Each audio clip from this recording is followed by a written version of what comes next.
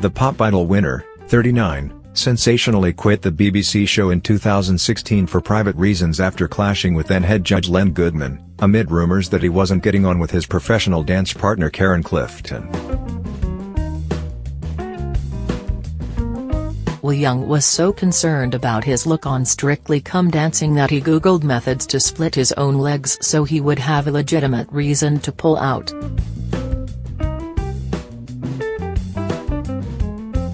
He didn't say so at the time, but Will was experiencing severe anxiety and depression, resulting in him going to extreme lengths to get himself out of the situation.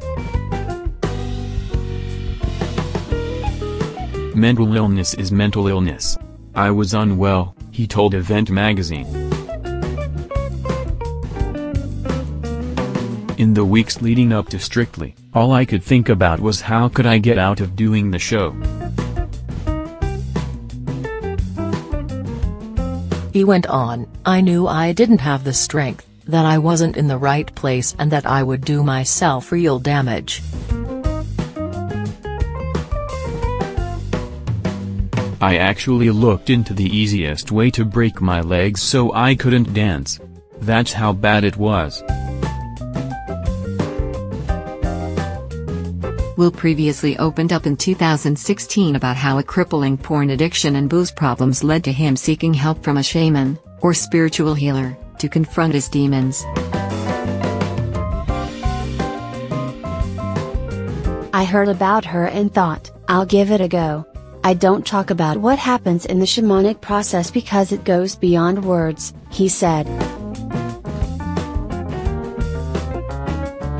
I was a love addict, I still am an addict, addicted to porn, certainly addicted to alcohol.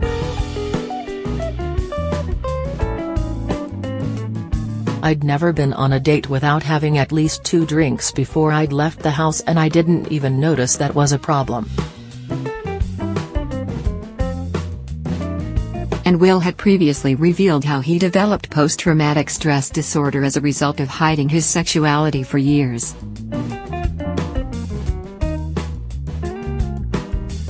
He was diagnosed with the condition after years of pretending he wasn't gay and being bullied, going on to spend six months in a residential trauma center so he could battle his extensive problems.